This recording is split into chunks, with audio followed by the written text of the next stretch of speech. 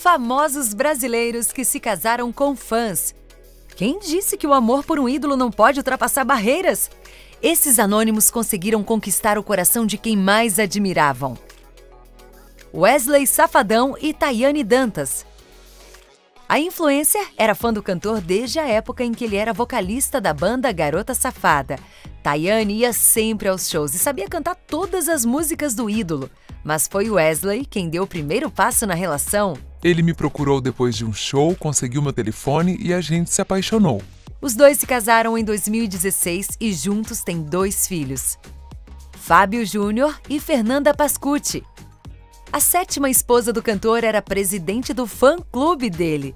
Fã desde os 12 anos, ela ia a todos os shows de Fábio. Em 2011, em um desses shows, Fernanda teve a sorte de chamar a atenção do ídolo. E acho que o dia que foi para ele me olhar mesmo assim, e foi coincidência que foi no dia do meu aniversário. Eu sempre chamava alguém no palco assim, né, no, no final ou no meio, sei lá, dependendo da música que eu cantasse, para brincar no palco, dançar, fazer um e ela falou: Você, você é maluco, você não lembra que eu subi sete vezes no palco?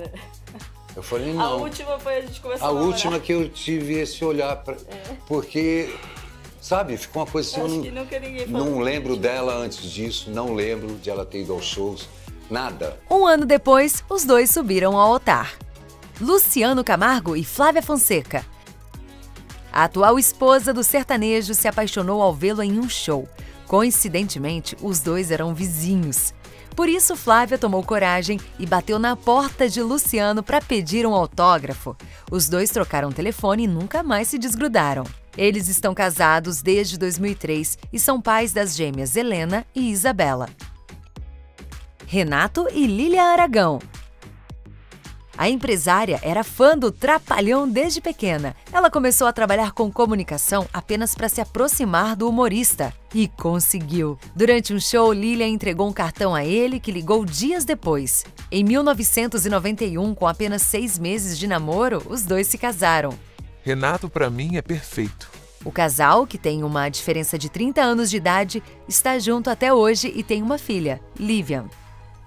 Nívia Stelman e Marcos Rocha.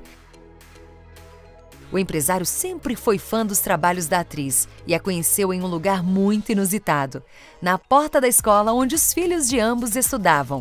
Ele se aproximou para falar sobre sua admiração e os dois ficaram amigos. Em pouco tempo estavam apaixonados e se casaram. Juntos há 10 anos, eles são pais da pequena Bruna. E você? Gostaria de se casar com qual famoso?